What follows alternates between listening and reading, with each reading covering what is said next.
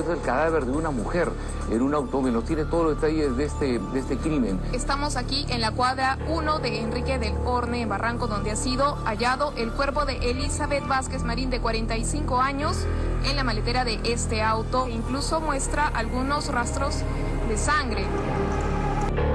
Un crimen a punto de resolverse y una nueva hipótesis que lo hace más escalofriante. La conclusión de ellos es que fue colocada en la maletera viva o en estado agónico.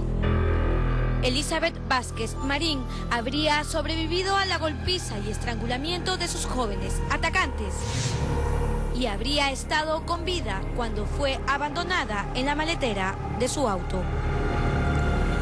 Podría haber estado con signos de vida.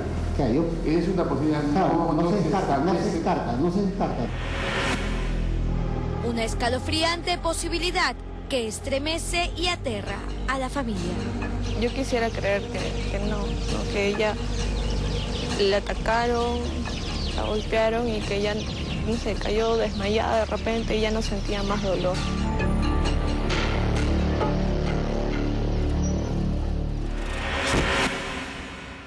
Miércoles 27 de enero del 2010, 10 de la mañana. Ese día, Elita Espino recibe una llamada de su tío César, hermano de su madre. La abogada tributarista no ha llegado a la oficina aún. Hay desesperación en casa. La escena es relatada por la misma Elita en una de sus primeras manifestaciones. César me llama y me dice que han encontrado el carro de tu mamá y ella estaba desaparecida. No me dijo que estaba muerto. Me bajé en un grifo que está cerca del puente Primavera y lo llamé a Fernando. Fernando González, su enamorado, había asesinado a Elizabeth Vázquez aquella madrugada. Elita lo había ayudado a ingresar y salir del departamento con el cuerpo y el auto de la propia abogada. Elita no parece preocuparse por su madre muerta, sino por la posibilidad de ser descubierta. Le digo, Fer, han encontrado el carro de mi mamá, pero ella está desaparecida. Le pregunté qué le hiciste. Me dijo que eso no puede ser. Nosotros la dejamos en la maletera y abandonamos el carro en Barranco. Le dije, de repente sigue viva. Le pregunté, pensé que mi mamá de repente está en un hospital. De repente lo ha reconocido a Fernando. Y dudó un rato y me dijo, no sé, pero ella no nos vio porque estaba oscuro. Me dijo, no creo que haya aguantado tanto. Bueno, le dije, cualquier cosa me avisa. Un relato espeluznante que hasta hoy había pasado desapercibido. Los presuntos cómplices tenían la certeza de que la abogada no podía haber sobrevivido a los golpes y al estrangulamiento a los que fue sometida.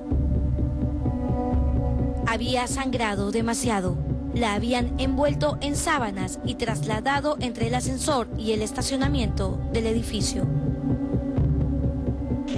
Un escalofriante recorrido de 12 pisos que terminó en una maletera. ¿Acaso podía estar viva? Hay quienes sostienen que sí.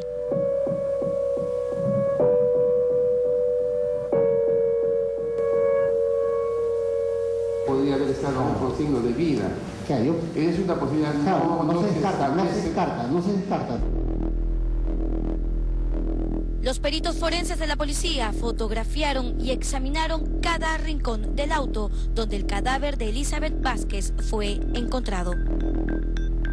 Dos años y medio después sale a la luz este dictamen forense que revela una dolorosa posibilidad entre las huellas de sangre en el se hallaron también pequeñas manchas de salpicadura, lo cual supone difusión activa de adentro hacia afuera a partir de una herida del cuerpo emisor o víctima, siendo solo posible cuando la víctima presentaba aún signos de vida o se encuentra en estado agónico. En síntesis, Elizabeth Vázquez Marín aún tenía signos vitales cuando fue arrastrada e incorporada en la maletera de su auto abandonado en Barranco.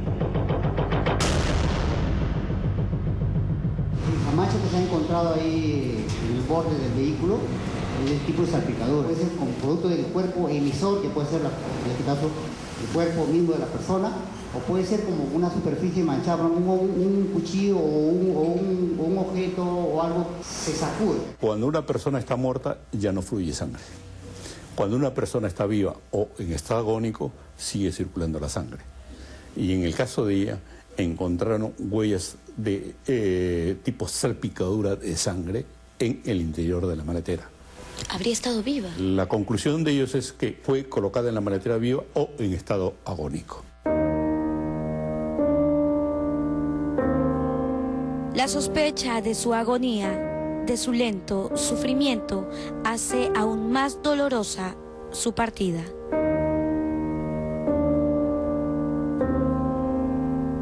Ha resistido bastante.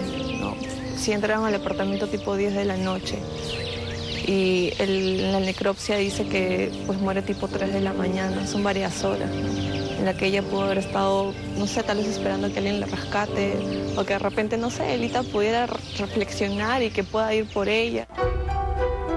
Apenas fue descubierto, el cuerpo de la exitosa empresaria fue sometido a una serie de pericias para determinar las razones de su muerte.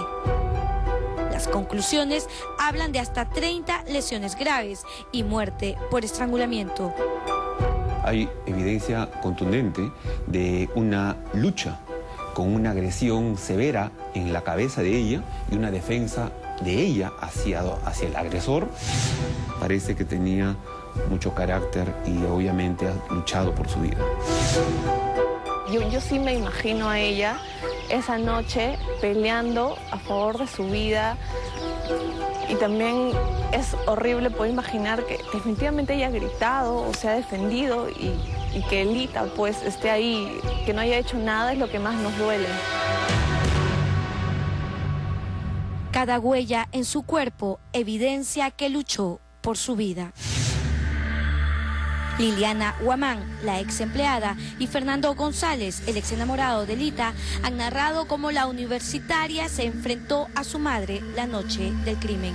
Sin piedad la insultó, golpeó y jaló de los cabellos, cabellos hallados en la ropa de la víctima. En este caso sí es eh, evidente que la mayoría de los pelos que se han encontrado son, han sido arrancados. Y esto es eh, fácilmente detectable eh, por eh, lo que corresponde a la, la, parte de la raíz. En este caso, o sea, está plenamente determinado sí, que han sido arrancados hay algunos, algunos. ¿Y qué significará que se confirme su teoría de que era el cabello de, de Lita? Eso no viene sino a corroborar y demostrar un indicio más de que ella coparticipó materialmente en la ejecución de la muerte de su madre. Tener esas imágenes en la cabeza, poder recordar o poder imaginar toda esa escena de cosas, recordar esas narraciones, pues es cruel, ¿no? Es bastante cruel, bastante duro. Entregamos todas las evaluaciones del cadáver al médico forense David Ruiz Vela. Él está seguro de que cuando fue abandonada en el auto, la abogada ya había fallecido. No existen señales en corazón y cerebro de que haya sobrevivido al ahorcamiento.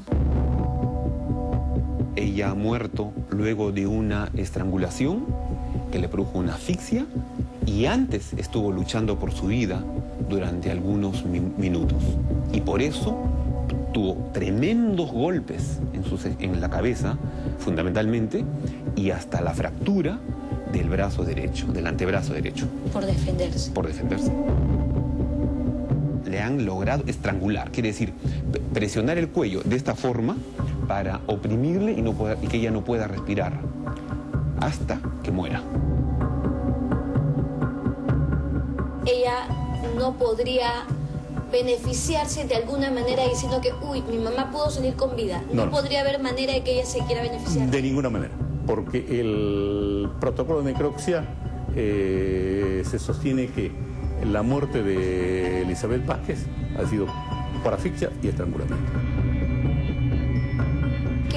¿Qué entonces le agregaría ese dato al proceso? Solamente eh, algo macabro, digamos, porque a la verdad que eh, el hecho de que hayan actuado con tal crueldad, que se hayan ensañado con la víctima, eso, uh, la verdad, en nada eh, beneficia ni en nada perjudica porque ya está establecido que fue un homicidio calificado.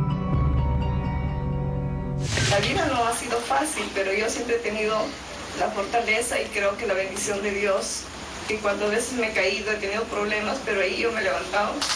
Y, y, lo más importante porque he tenido a mis padres y a toda mi familia también ahí juntos apoyándome de una u otra forma. Y solamente quiero decirles que a mi familia que los amo, que los quiero mucho. Han pasado dos años y medio de su muerte sin sentencia final. Esa es la otra agonía de aquellos que quedaron con vida o de quien se fue esperando justicia. Si sufrió durante horas o no, es hoy un misterio que aún no descansa en paz. Es una realidad.